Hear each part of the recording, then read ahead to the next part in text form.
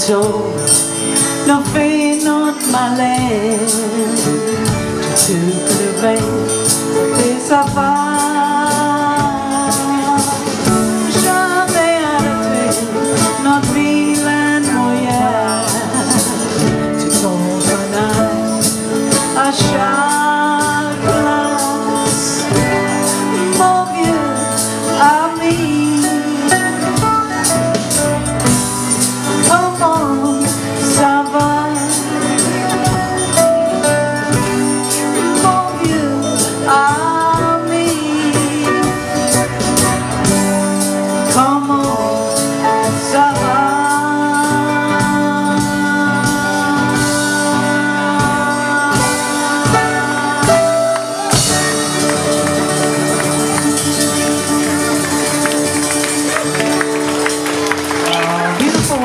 everybody